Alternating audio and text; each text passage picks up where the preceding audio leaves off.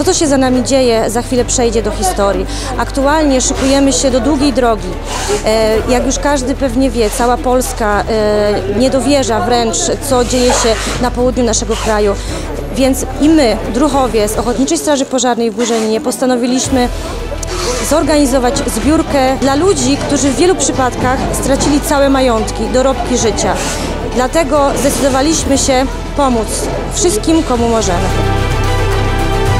Bardzo dziękujemy ludziom dobrej woli, bardzo dziękujemy również przedsiębiorcom, który ba, którzy bardzo licznie e, wzięli udział w naszej zbiórce. Dramat, którego doświadczyli aktualnie e, nasi rodacy w innych częściach Polski jest dla nas nie do uwierzenia.